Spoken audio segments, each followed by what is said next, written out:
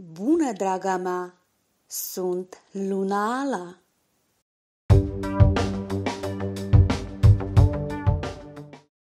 În noiembrie, în unele situații, peștii sunt capabili să se mobilizeze și să facă un salt mare. Așteaptă momentul potrivit din noiembrie pentru a te dovedi și a reuși. Într-un fel sau altul, conform horoscopului, pentru mulți pești, noiembrie va fi o lună neobișnuită de activă de lucru. Principalul lucru este să amân chestiunile și sarcinile importante până în a doua jumătate a lunii.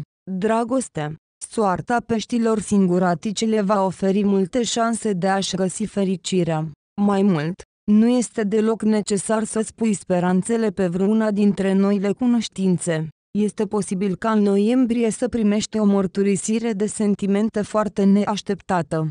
Aceste lucruri îți va crește considerabil stima de sine, dar nu ar trebui să o folosești pentru a te ridica deasupra acelei persoane. Dacă într-o relație nu simți reciprocitate, atunci este mai bine să o recunoști imediat, fără a-ți da speranțe false pentru viitor. Peștii care au deja o familie, se pare că nu vor avea înțelepciunea de a evita conflictele. Tu, asemenea unui copil răsfățat, vei provoca noi certuri te vei agăța de cei dragi. Este timpul să scapi de acest obicei prost, altfel riști să-ți aduci relația la punctul fără întoarcere. Sănătatea Dacă te-ai săturat de stresul constant, atunci astrele te sfătuiesc să ai câteva zile departe de casă. O schimbare de peisaj îi va ajuta pe pești să reevalueze valorile și să pună ordine în moral. Pentru a menține echilibrul și armonia în corpul tău, angajează-te în sporturi calme,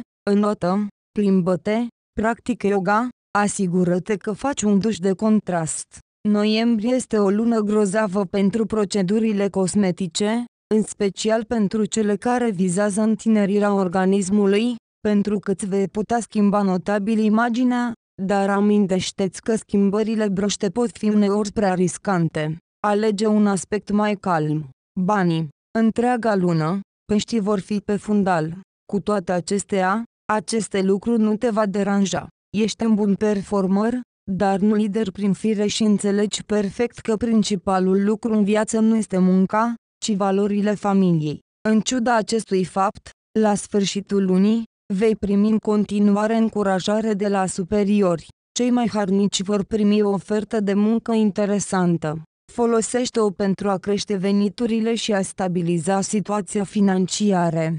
În general, luna nu este capricioasă.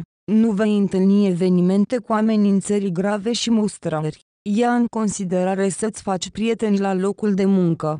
Doar asigură-te că nu faci echipă cu cineva pe baza bărfelor, altfel nu vei evita condamnările în ochii celorlalți la locul de muncă. Nu este ceea ce ai nevoie acum. Zilele în care norocul va bate la ușa ta sunt afișate pe ecran.